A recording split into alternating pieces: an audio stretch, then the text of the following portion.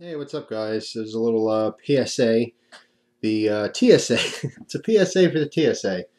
Um, of course, a lot of you guys are messaging me now. Um, the airlines are now going to allow um, certain sports equipment as well as small pocket knives. Now, first of all, um, people ask me all the time, you know, what's the deal with flying? What can I bring? Guns, knives? What's the, the stipulations? I'm not a lawyer. I can't give definitive information. You know, you really have to just look into it in great depth and detail to really know for sure. But um, I've been reading the. I'm going to link you directly to what I've read uh, from um, CNN. And uh, by the way, these these changes are going to be effective April 25th of this year. So if you're flying before that, then oh well.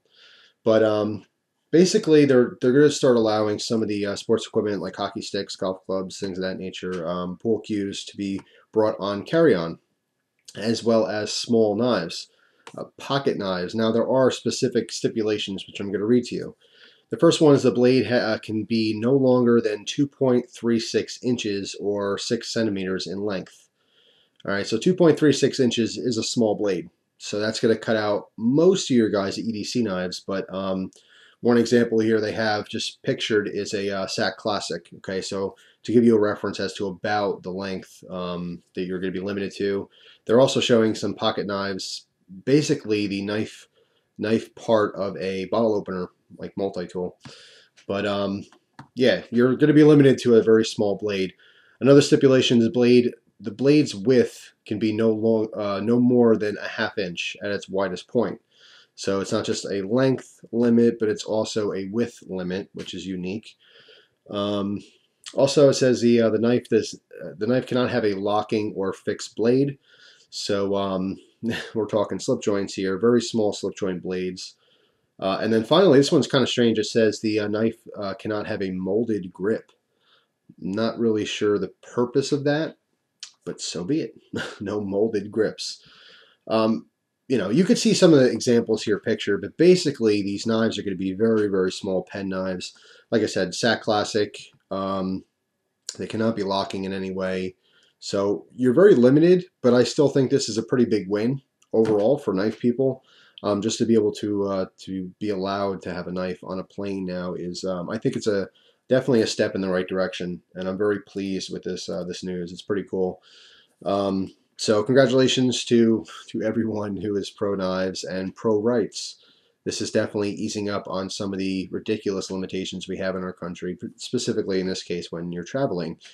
Um, I I am planning a trip to go down to uh, Florida to see a friend um, sometime soon, hopefully sooner than later. But um, it's interesting because I haven't I haven't flown in probably 15 years. Last time I, I was on a plane, I think I went to Disney with the family. I went to Vegas with my family once. Um, I wasn't old enough to gamble, so that kind of stunk at the time. But um, I don't fly much, and I haven't flown in a very long time. I think it's kind of funny that now I'm going to be flying soon, hopefully, and uh, they just changed the knife laws. So at least I can bring something, a little something, something, you know. Actually, what I'm going to end up doing is I'm going to ship all my EDC stuff uh, to the uh, the place I'm going to end up in Florida. This way, I don't have to worry about traveling with it.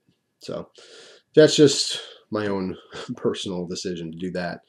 But uh, regardless, I wanted to spread the news. I will link you to this uh, exact um, story so you can see more details and read up about it. Of course, you can find this information elsewhere online as well. But uh, I think it's pretty co- pretty cool. It's definitely a step in the right direction. And although very limited, at least it's something. You can have a little blade on it, you know. So uh, I think that's that's really really cool. So a total win today for uh, for the knife community.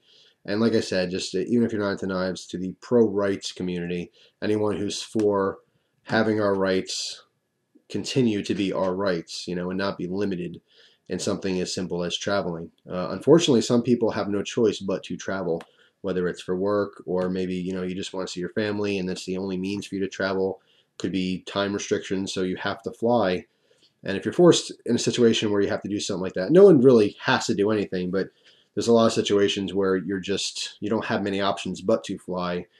It's nice to know at least they're letting up a little bit on the uh, security stuff. So I think they're going to be pleasantly surprised to find that you know people are going to start carrying very small pocket knives. I mean, this is going to really, um, small thing, not really knife people so much as just the average person who maybe have the nail clippers in their luggage, or maybe um, a very small uh, nail file, something along those lines. They're not going to be basically harassed anymore, um, and you know these things aren't going to be seized anymore.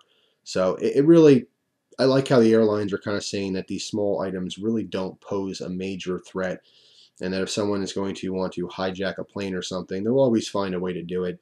Um, having some of these security measures in place, some are helpful, some aren't helpful.